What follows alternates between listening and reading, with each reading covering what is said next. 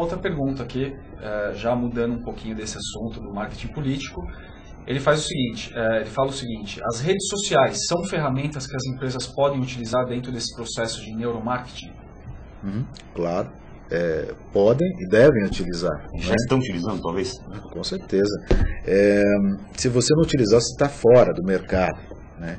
O, o mercado vem com muitas ferramentas adicionais e é importante hoje para as empresas é, se adaptarem a esse novo quesito mercadológico. Quando é lançado um Twitter, um Facebook, não é só uma mais uma espécie de, sei lá, não tenho o que fazer e vou lá twittar ou é, colocar alguma coisinha no Facebook. Na verdade, é uma espécie de imagem tua e uma imagem da sua empresa que está sendo vinculada para mais cabeças. Então é muito importante você estar antenado sim à empresa e também pessoas nessa nova prática e que na verdade anda com uma velocidade incrível hoje em dia. A gente poderia afirmar, por exemplo, que para começo de conversa, se você é uma pessoa antenada em tecnologia, então você utiliza redes sociais, se aquela determinada empresa está presente e está presente de uma forma eficiente e coerente dentro de uma rede social, imediatamente você, você já faz uma, uma, uma identificação de imagem e fala assim, pô, boa, essa empresa, eu me identifico, é, uma, é quase que inconsciente isso daí. Claro, as pessoas admiram outras pessoas como admiram empresas. Nós precisamos, como eu disse anteriormente, aquele neurônio espelho, nós precisamos nos sentir próximos daquelas pessoas, é, somos iguais, não é? As empresas também, eu me identifico com uma marca, por exemplo, eu quero saber o que está acontecendo com essa marca no mercado. Até pessoas, é, pessoas que me admiram, admiram você, é, querem saber o que você está fazendo, querem saber que tipo de roupa você usa, que tipo de comida você come. Então essa ideia de estar perseguindo ou seguindo o outro é muito interessante. E essa questão que você está falando é tão séria, mas tão séria, que você comentou comigo outro dia é, que a gente estava conversando, da, de uma das, das, pesquisas que deu origem ao neuromarketing, que foi aquela pesquisa entre a Pepsi e a Coca-Cola, que é uma coisa impressionante, né? Eles fizeram um teste cego, na verdade, que você me contou. Consumidores, não me lembro exatamente, mas assim, consumidores basicamente tomaram Coca-Cola e Pepsi, cego, não sabiam que marca que estavam tomando. 60%, 70% preferiram a Pepsi. Depois, é, é, tomando já com, com as respectivas marcas e fazendo o mapeamento via neuromarketing, a, a, a, a, inverteu, 70% preferiram a Coca-Cola, porque as sensações de, de, de brand, de, de marca, de, de lembrança de marca da Coca-Cola são muito mais fortes. Claro. Tá, tá, tá muito atrelado à história, né? É, por exemplo, antigamente, o seu computador da Apple. Antigamente, eu tive a felicidade de ter o primeiro, um dos primeiros Apples, depois o Lisa também, e depois que veio o Macintosh. É, antigamente, quem tinha esses tipos de computador assim não era muito bem visto, né? era, era fora da tecnologia. Hoje em dia é, é muito Ao contrário, né? era visto como pertencente a um grupo específico de usuários de tecnologia, principalmente diretores de arte, designers, é. etc. E tal. Era a turminha do, da, da, do, do, design, da arte, era, era, era, era, um usuário de tecnologia diferenciado. É muito estranho, né? Era, era o sujeito estranho que estava ali. Uh, hoje é impressionante. Você anda, anda pelas ruas da cidade e você olha nos carros as pessoas compraram tanto essa marca ou essa maçã que quando você olha, porque dentro dos produtos Apple vem os adesivos, aquela maçãzinha, as pessoas se destacam e colam nos carros de uma forma a identificar. Eu sou um membro desse clube. Eu sou um Mac maníaco, né? Eu sou uma pessoa, eu gosto de estar com estas pessoas. Eu me identifico com estes. Então isso gera uma nova identidade. Fora a minha própria identidade, com meu próprio nome, meu próprio ser, existe uma identidade corporativa também.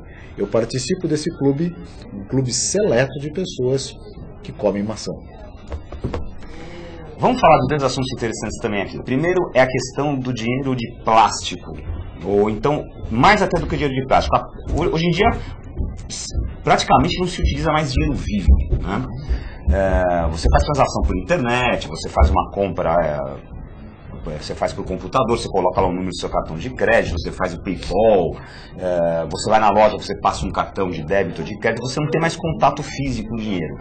E é, eu vi aqui um dado de uma pesquisa que diz que, que essa falta é, de contato físico com dinheiro, se as pessoas tinham que comprar um produto que custava, sei lá, 50 reais com dinheiro e com cartão, é, é, o número de pessoas que compraram com cartão foi muito maior do que, do que com dinheiro. Uhum. Essa, essa perda do contato com o dinheiro físico muda a, é, a relação da, da, da compra? Com certeza. O remorso é menor. Se você pega, por exemplo, mil reais em notas, em espécie, é um, depende do, do, do, tamanho das notas, você vai ver que é muita nota. E mil reais um passando no cartão de crédito é, não é quase nada, não é? Então é o remorso daquela quantidade. Eu estou dando muito dinheiro, isso pesa muito, né? A quantidade é maior. É, se você pega crianças, isso vem, remete à infância, né? Pega uma criança, e peça para ela trocar. Você dá uma nota de 100 reais para ela e ela dá para você o mesmo, os mesmos 100 reais em notas de 10, por exemplo. É, ela vai achar meio estranho isso no começo. Você vai precisar ter mais argumentos para negociar com ela, porque para ela parece que ela está perdendo. É o mesmo valor, mas para ela ela acha que ela está perdendo, porque ela tem maior número de dinheiro de, ou seja, se você der 100 reais em, em 10 notas de, de, de, ou 20 notas de 5, uhum. ela vai ter uma sensação de que ela está com muito dinheiro. Eu tenho muito dinheiro. E se eu estivesse trocando isso também é uma perda muito grande. Eu vou comprar um equipamento de mil reais, dando um monte de dinheiro, parece que é uma troca muito pesada. É? Agora o cartão é simples, né? Passa, né? Eu não tenho, mas mês que vem vai que eu consiga, né? Eu pago, eu corro atrás. Corro atrás. O remorso é menor né? O pesar é menor. Então nós estamos falando um pouco, aí o emocional entra pesado mesmo, né? Eu estou perdendo pouco quando eu passo o cartão de crédito. Outro mecanismo que eu quero eu acho que você é um especialista perfeito para responder isso daí, é a compra é, como, é, como, é, como recompensa, né? É, estou deprimido, nela deu errado, me separei, fui despedido, sei lá que desgraça que aconteceu, né? Triste hoje. Assim como tem é, a gente poderia discutir aquele Valkyria, aquele pessoal que se afunda na comida, tem os que se afundam em compras. Como é que funciona essa ligação, esse mecanismo? Ok. É, esse mecanismo é bem claro porque nós, humanos, precisamos ser reconhecidos em qualquer instância. Uh, quando a gente fala um obrigado para alguém, é uma espécie de reconhecimento pela ação da outra pessoa. Quando eu não consigo esse reconhecimento de uma forma muito clara e específica, eu vou tentar me recompensar de alguma forma. Algumas pessoas, como você disse, através da comida. Outras pessoas através do consumo. Eu preciso comprar alguma coisa. É, eu não consegui o reconhecimento daquela pessoa, então eu vou lá e compro uma roupa nova, que, ah, bom, já que ela me reconheceu, eu me reconheço. Então ela vai, é um consumista inato. Isso acontece como pessoas vão e comem demais. Né? É totalmente normal. Agora, vale diferenciar o seguinte: tem esses casos tradicionais de consumo, de reconhecimento do alto consumo, e também tem os casos patológicos, que são pessoas, às vezes, que têm uma patologia, uma psicopatologia que deve ser tratada, que realmente existe uma compulsão, é uma pessoa maníaca e ela maníaca no sentido de maníaco e depressão, bipolaridade, bipolaridade, ela precisa consumir isso porque aí nós estamos falando de uma doença. Né? Então aí saímos do neuromarketing e vamos para a área da psicologia, da psicopatologia. Né? Essa, essa pessoa precisa ser tratada. Está com desequilíbrio mesmo Há um psicológico. Psicológico, isso temos que ser realistas para isso. Mas tem aquela pessoa também que, bom, já que você não liga para mim, né, não me reconhece como uma pessoa maravilhosa que eu sou, eu vou lá e vou re me reconhecer. Eu vou comprar uma roupa nova hoje, em sinal de que eu sou importante para mim mesmo. E aí vai se afunda na por, por, isso que tem tanta mulher que se vinga dos maridos no cartão de crédito, né? Caetano, como é que tá a nossa participação no chat aí? Tem bastante gente comentando, Gilberto, perguntando, desabafando. Eu vou ler aqui o desabafo do, do Dela Ribeiro que ele comentou. Aqui tem uma rede chamada Polishop, que vende alguns aparelhos e que, se der defeito, você perde o produto. Infelizmente, estamos no Brasil, onde o consumidor é órfão de pai e mãe no que tange aos seus direitos. A própria aplicação do Código de Defesa do Consumidor é lenta, facilitando o desrespeito. E o Mena Barreto fez uma pergunta bem interessante. Ele diz: é importante observar um fato. Com todas as facilidades em se comprar com cartões, cheque pré-datado, crediários, financiamento de automóveis, etc., uma matéria que vi dia desses mostra que o brasileiro está menos endividado que alguns anos atrás. Será que estamos com mais consciência na hora de comprar ou as empresas de cartão de crédito estão ficando mais seletivas? Uhum. É, é uma boa pergunta, mas eu acho que a boa resposta seria assim: o Brasil é um país que está crescendo numa velocidade estrondosa. É, hoje em dia, vale mais a pena você ser um empregado porque você ganha mais dinheiro. Então, está, está nascendo muitos empregos, a possibilidade de ganhar mais dinheiro é grande atualmente. E, obviamente, um povo como nós, que não está acostumado tanto com essa bonança de dinheiro, de possibilidades de grandeza, na hora que começa a ganhar um pouco mais, eh, começa a ter mais horizontes, né? Começa a falar, bom, eu mereço gastar um pouquinho mais, acaba se dividindo um pouquinho mais também. Natural, normal.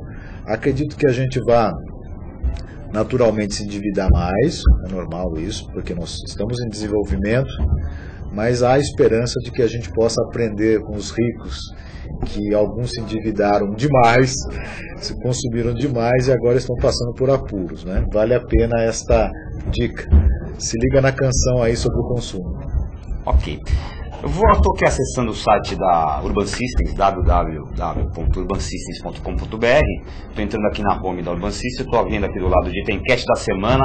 A pergunta é possível tomar decisões de compra sem influência do marketing da comunicação? A gente deu aqui três uh, uh, possibilidades para o pessoal responder. A primeira possibilidade é assim, não sempre existe uma influência. Uhum. A segunda possibilidade é, sim, uma compra pode ser 100% racional. E a terceira depende do tipo de compra. Está vencendo aqui, o pessoal na votação aqui está vencendo, depende do tipo de compra. Né? Então é possível tomar decisões de compra sem influência do marketing. O pessoal acha que depende do tipo de compra. 52,6% dar uma aumentadinha aqui que está um pouco pequeno, isso 52,6% acha que depende do tipo de compra. 26,3% acha que não, sempre existe influência. É possível você fazer uma compra sem influência do marketing da comunicação. E apenas 21,1% acha que sim, uma compra pode ser 100% racional. Bom, tá bom. O que, que você ah, comenta aí, Alexandre? Comento assim, tem coisas que nós não sabemos, né? Como assim não sabemos? Nós não sabemos e tem uma, um grande poder de influência sobre a gente. Vou ser mais é, analógico. Um peixe só sabe que existe água quando você tira o peixe da água. Né? Nós humanos é a mesma coisa para o ar. Né? Às vezes você só sabe que você respira é, quando você perde o ar. Então eu acredito que se, se a gente não tivesse nenhuma influência do marketing, Uh, eu não sei se a gente tomaria decisões certas. A gente só vai dar o valor, definitivamente, desse poder de influência quando a gente não tem mais isso. Eu acredito que há uma influência assim, muito grande em tudo isso. É, não acredito que as, as decisões possam ser tomadas sem nenhum parâmetro emocional. Acho que as emoções regem a nossa vida em muito. Eu posso dizer até que felizmente, porque isso nos difere muito dos animais de uma forma geral. E